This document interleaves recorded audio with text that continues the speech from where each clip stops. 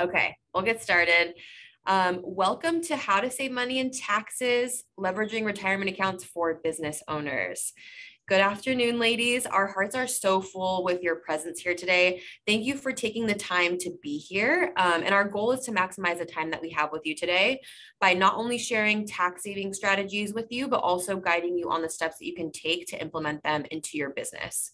Um, and we'll kick this off by introducing ourselves. Then we'll share why today's topic is important for business owners.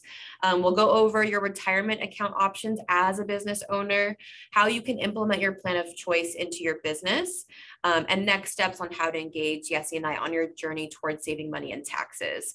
And then lastly, we'll close out with a poll just to get feedback on additional webinar topics. Um, and that should do it for today. So um, hello, my name is Tori Sierra. The main reason why I am here today is to help female entrepreneurs of color um, that uh, I've been heavily influenced by my strong line of matriarchs in the family. My late grandmothers inspired uh, inspire me on the daily with their grit, resilience, and undeniable confidence and their flashiness they live their lives with that inspired me to create a life that I love and to help other women of color create the lives that they want for themselves and their community. And that starts with making well informed decisions when it comes to your business. And I am Yesica Lemus, uh, but you can call me Yesi, and I am a first generation uh, female entrepreneur that, to be honest, just ended up in the journey of entrepreneurship by simply being at a career fair at the age of 21 and needing a job badly post undergrad. Um, I am, but I am extremely grateful for 21 year old me, not only for embarking on this journey, but really seeing it through because as a first generation female entrepreneur, jumping into entrepreneurship was kind of like learning a new language. It was new, it was foreign, and it was unspoken of in my world but hey, here we are. Uh, so I am really excited to be a resource to women that are also fighting to see it through and not only launch their business, but really take it to the next level. Um, so we're excited to align our practice as financial advisors with our passion to empower female entrepreneurs of color to own the power in their money. The goal is not only to implement these strategies, but also execute um, growth strategies that will help business women create generational wealth. Um, and as financial advisors with our independent broker dealer, um, that is Cetera Investors, we have access to a couple of things, a lot of things actually. Um, we have access to a wide range of investment solutions that help us develop a strategy that fits your needs. Everyone's situation is very different, so we definitely need a variety.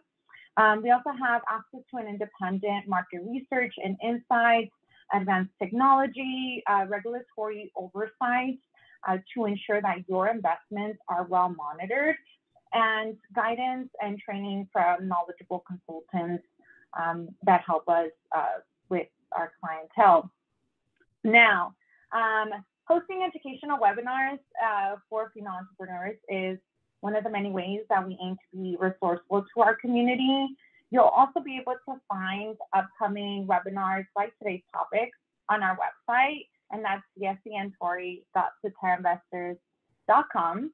Um, and you'll also find our podcast, Money Talk with and Tori, where we share stories of challenges and triumphs in entrepreneurship as uh, women of color. Uh, we discuss topics such as reframing imposter syndrome, for women in business. That was a heavy one. Um, having the courage to charge what you're worth, um, and many more. Uh, we also have a blog and an events tab uh, where you can find local community events that aim to empower women owned and operated businesses. Um, and you can also stay connected with us, of course, on our Instagram page that is Yesi and Tori. Now, I am going to start us off uh, with discussing an upcoming deadline that will apply to any business with more than one employee in the state of California. So the state of California has established a retirement program called CalSavers. This retirement program is meant for workers that don't already have a retirement plan available to them through work, Um, so if you have more than one employee in California, you must be offering a retirement plan of your own in your business by 2025, or you will be required to enroll your employees in this program, in the CalSavers program, which to be honest is is the bare minimum. And uh, but we know as business owners and as women of color, we don't do just the bare minimum, right? Uh, we want to make sure that uh, we want to make decisions that use accounts that are going to enhance our business and not just stay by with doing the least. So that's why today we're going to educate you on four retirement plans that are available to you in your business to save some money in taxes. Now, the big question is what are the benefits to sponsoring your own retirement plan outside of CalSavers? Well, with CalSavers, um, there are no employer contributions allowed, which means you can't use you can't use it as a tax deductible event for your business. With your own retirement plan, you are allowed to have employer contributions, which means that we're able to implement tax management strategies with these retirement plans that can help you lower your tax um, your tax liability and increase your after-tax return. Um, so that's the um, main reason why we're able to use the tax strategies with these accounts. Now, why is it important for business owners? Um, now, we're not saying that CalSavers is bad. Um, we just want to make sure that you are aware of your options and not being forced to implement a program um, by the state of California that does not fit your business. Our goal today is to educate you um, uh, and business women like yourself on additional retirement accounts available to you and plans that will help you keep more after tax money in your pocket that will pour into your business, that will pour into your community, into your family, wherever you want it to go. Um, the second is to build generational wealth for you, your family, and your community, and help you. It could also help you retain higher, um, high quality employees. So those are some of the benefits um, to you. Now, what to look for when you are deciding the right fit for your small business retirement plan. Like I said, we're, we're going to go, we're going to cover a, a, variety of them. So this is how you know which one's the best fit for your business. One question you're going to want to ask yourself is, how many employees do you have? Are you a sole, are you a sole proprietor? Um, is it just you and your spouse? Do you have under 100 employees or do you have over 100 employees? The second question is, what is the goal of offering a plan? Are you looking to maximize contributions for yourself as the owner or for highly compensated employees, like as an incentive for them? Are you looking to provide an employer benefit to current employees, again, to help keep that, uh, retain, uh, increase your employee retain ratio? and or help uh, to recruit new and retain existing employees. The third question is, are you willing to provide contributions to the plan for your employees? Um, and lastly is, do you want to offer features like loans, vesting um, of employee contributions, etc., which these are quite common in some of these plans that we're going to cover. But we're going to start us off with um, a very known type of account, um, and that's the traditional individual retirement account. Um, short is traditional IRA. So it's going to be the first one we're going to cover. Now, this type of plan is best fit for someone that's just starting out, right? Someone that just launched their business. Um, they're able to start this plan. The reason is because you don't need to have employees. It could just be you, yourself, and your business. And the contributions are as little as you want. Um, however, there is a maximum limit. So for 2023, the maximum amount that you can contribute to the plan for the year is a total of 6,500. Now, the tax advantage part of this is that the money that you put into the plan, you're able to use it as a tax deductible event for your income. Now, the benefit to you is, like I said, you really don't need to have employees to open this type of account and you get the tax deduction, get more money in your pocket at the end of the tax season. Um, but the downside is we are limited. You are limited to that how much you can put in the plan, which is 6,500 uh, for this year. Now, moving on to the second type of account, this one is called the Simplified Employee Pension IRA. Essentially, you're independent, can create your own pension here. Here are some of the features of this plan. Uh, the first one is, again, it's a simplified employee pension plan. Um, it allows for tax deferred growth of the money that you put in as it is accumulating interest, as it is compounding interest, it is growing tax deferred. All contributions that you make to this plan are immediately vested, which means the dollars are yours. Um, now, no plan level restrictions. Um, there's no plan level restrictions on withdrawing money from the plan. Um, it's low, it actually has no administrative cost, um, which we'll talk about in comparison to some other plans. Um, it's available for any business type, including nonprofit and government organizations. It's actually pretty easy to set up and maintain, and um, it's a great last minute planning tool to run to as tax season comes around and you're like, I need something, I'm gonna pay way too much. Um, I need to hide money somewhere. This is a great tool uh, for last minute contributions to run to. Now, this is the best fit if you have zero to just a few employees. The contributions that you put into this plan are employer contributions only. Um, the employer contributions can be between zero dollars um, and the lesser of. This to be really important, um, and actually go over a, a, an example. But um, it's the lesser of sixty-six thousand or up to twenty-five percent of um, your after-tax employee earnings. Right. So you're going to want to find out what your after-tax employee earnings are. Take twenty-five percent of that. If that is higher than 66,000, then 66,000 is your limit. But if it is lower than 66,000, then that is going to be your limit. Um, now, the tax advantage here is that the contributions that you make to this plan are tax deductible from your business income, right? And now the benefit to you is you have a higher contribution limit compared to the traditional IRA that we just talked about, which was 6,500. Um, now the downside here is your employees cannot contribute. Like you said, it's only um, it only allows for employer contributions. Um, you must contribute the same amount for your employees as you do for yourself. Um, now there is an example here. So we have an example of someone that's 55 years old. They're earning uh, 40,000 and like I said, how much can they put into the plan? Well, it's going to depend. Um, we're going to take 25% of their after-tax employee earnings. 25% of 40,000 is 10,000. So then therefore they are limited to 10,000. The 66,000 only comes into play if that 25% was higher. Now I'm going to pass it on to Tori and she's going to move us forward here. Awesome. Thank you so much, Yesi. Um, so our third plan is the solo 401k. And this is this allows you to the opportunity to maximize business deductions because it has a higher limit um, compared to the traditional IRA.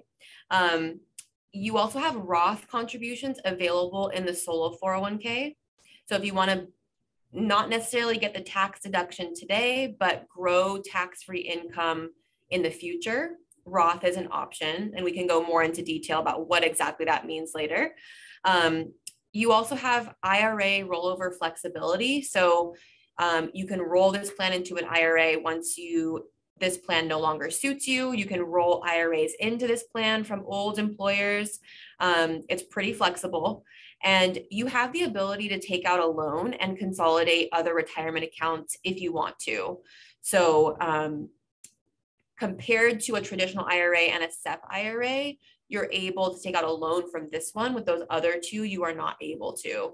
So with a loan, you can pay, essentially borrow against yourself and pay yourself back. So it makes it a little bit more flexible. Like obviously we want to keep money for retirement um, for retirement, but if for whatever reason you want to leverage what you've saved so far, you can access the money in this account.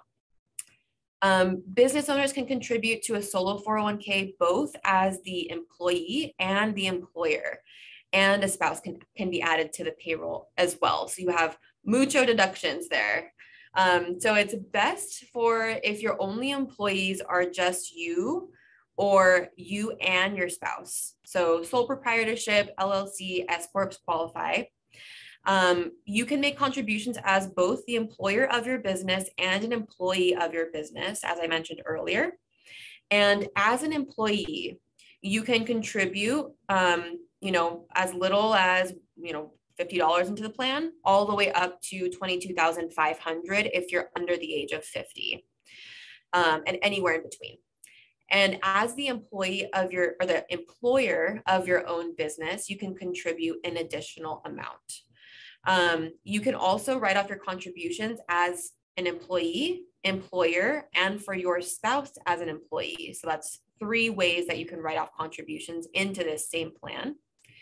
And the benefit to you is that all contributions that you make as an employer will be tax deductible to your business. Contributions that you and your spouse make as an employee will reduce your personal taxable income as well. Downside, not much. This plan is actually really nice. Um, but once you have one employee other than you and your spouse, you cannot contribute to this account any longer. So that's when we would um, maybe shift from this account um, to look at other accounts that might make more sense since you have employees. Um, so we'll go through an example. So we have Mary and John. Um, Mary is age 55, John is 55 as well. Mary's annual earnings is 162,000. Um, she chooses to max out her solo 401k at 22,500 because she is over the age of 50, she can add an additional 7,500 for the catch up. And then, so that's her wearing her employee hat, right? And then if you switch over to her employer hat, um, she, as the employer, put in 43,500. And that gets her to the max that she can contribute as an employee, an employer over 55. Um, so that max for 2023 is 73,500, which is 45% of her pay that she's essentially hid from the IRS in a very legal way and put into her 401k for her future retirement. Super nice, right? And then we also have John, her spouse. His annual earnings is 50,000. Um, he's also chosen to max out with the employee salary deferral and the catch up. And then the employer also put in $10,000. So he's taken 80% of his pay, 40,000 and put it into the solo 401k also. Um, you know, so total they have over a hundred thousand dollars that they've been able to reduce their taxable income by and save it for later for their retirement. So this is a great tool for someone who's in business with their spouse or just on your own. Um, the fourth retirement account is a defined contribution plan. And this one in particular is the Safe Harbor 401k. So, um, first, just to get the definition kind of like out of the way, the reason it's called a Safe Harbor 401k is a safe harbor is a legal provision to reduce or eliminate legal or regulatory liability in certain situations as long as certain conditions are met. So it's a way for you as the employer to protect yourself and offer this plan for yourself and your employees.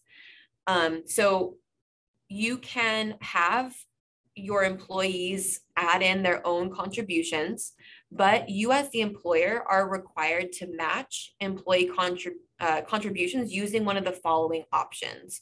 So the first option right here is a 3% non-elective contribution to all eligible employees.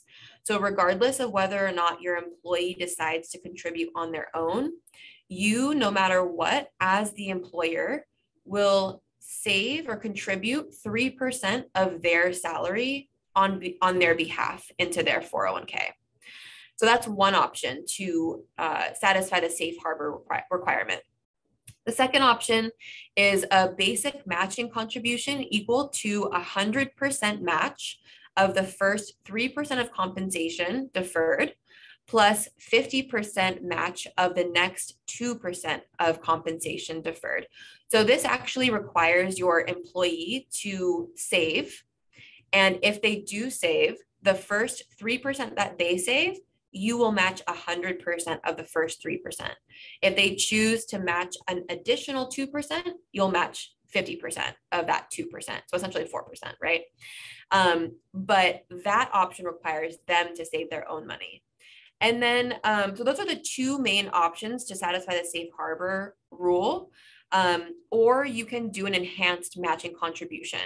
So this is just like uh, above and beyond those two options. So for example, 100% match of the first 4% of compensation deferred. So it's an even better kind of like deal than, than the other two. Um, highly compensated employees can defer or contribute up to the maximum allowed. Um, you can offer Roth contributions through a safe harbor 401k. Um, and then all contributions from both the employee on their own and then from you are 100% vested. Um, this is best for typically if you have over 10 employees. Um, and then we reviewed the contributions for the solo 401k. And this is similar for this safe harbor for 401k in that you and your employees can contribute um, as little as $50 up to 22,500 for the year of 2023. Um, it usually changes every year just based on inflation. Um, the tax advantage is that any matching that you do as the employer is a write off for your business. So you have your own deductions that you get from your own contributions. You have the employer contributions for yourself, and then any employee matching that you can deduct from your business income too. Um, plus, you also stay compliant with California labor laws, which we like that too.